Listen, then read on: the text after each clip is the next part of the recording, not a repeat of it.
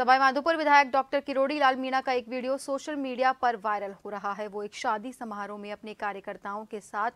मस्ती करते हुए नजर आ रहे हैं वायरल वीडियो में डॉक्टर किरोड़ी लाल मीणा शादी समारोह में अपने कार्यकर्ताओं से घिरे हुए हैं वीडियो में किरोड़ी लाल मीणा ने अपने हाथों में